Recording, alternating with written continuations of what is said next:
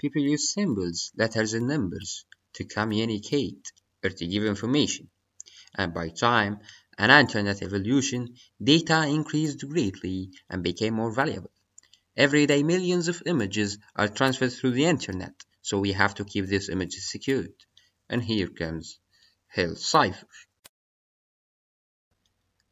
Hill cipher is a symmetric key algorithm, which means that we can get the decryption key out of the encryption one with a simple transformation.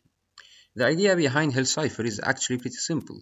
It takes n successive plain pixels and substitutes them with n ciphered pixels, where n is the dimension of the square key matrix. For example, if we have three pixels P1, P2, and P3, Hill cipher will substitute them with C1, C2, and C3. The algorithm works well for all types of grayscale as well as colored images, except for those having a background of the same color, as we can see. As a solution for such a problem, we introduce to you HexaGeeks Hill Cipher. We propose two more stages over the original Hill cipher. The first stage is that the image is divided into groups of blocks where the dimension of each block is n by n. After multiplying the key matrix with each block, we transpose the matrix and then multiply the result by the key one more time to make sure the image pixels are randomized and not recognized.